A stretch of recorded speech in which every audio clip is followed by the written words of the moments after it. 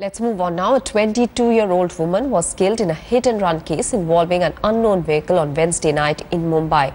What is shocking is that she was lying injured for around 20 minutes on the busy Goregaon highway, but no one came forward to help her. The cops at the Vanrai police uh, station said that in just uh, 50 meters away from the accident site, uh, they didn't even notice the victim. The accident took place at around 8.30 last evening, in fact on Wednesday evening, I'm sorry, and the police said that they didn't have any clue about the vehicle's owner or the driver. The deceased has been identified as Archana Kirit Pandya, a resident of Andheri East. She had joined Tata Consultancy Services at Goregaon just four days back. The victim's brother claims that, the, that Archana had been taken to a hospital without, had she been taken to a hospital without any time being wasted, she would have been alive today. Meanwhile, under fire, the police says that uh, they took her to the hospital in an auto rickshaw after being informed by an eyewitness. The police, which is taking the help of a CCTV footage in the area, has registered a case of hit and run against unknown persons.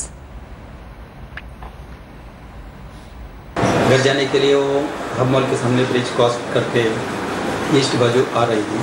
तो south bound पे कोई unknown vehicle ने उसको dash दिया। आ, वो injured होके उधर गिर गई थी। लोग जमा होते पुलिस स्टेशन को इन्फॉर्मेशन मिल गया।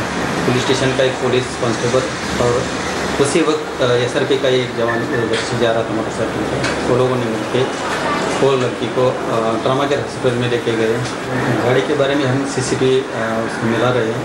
अगर सी सी टी में मिल गया तो पता चलेगा हम उसको ढूँढने का कोशिश कर रहे हैं उसको अरेस्ट करेंगे। 851 को मुझे कॉल आया एक बंदे का उसका नाम मुझे नहीं मालूम बट उसने बोला कि फटाफट आप ट्रामा केयर में आ जाइए। उनका एक्सीडेंट हुआ है और वो थोड़ा सीरियस है। आ, उसको कोई व्हीकल ने हिट किया है।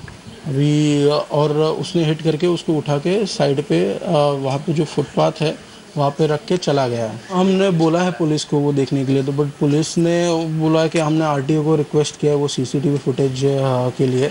बट वो, उनका ये भी डाउट है कि शायद वो ऑपरेशनल नहीं है, उसका शायद मेंटेनेंस नहीं हुआ तो वो काम नहीं, भी नहीं करता होगा।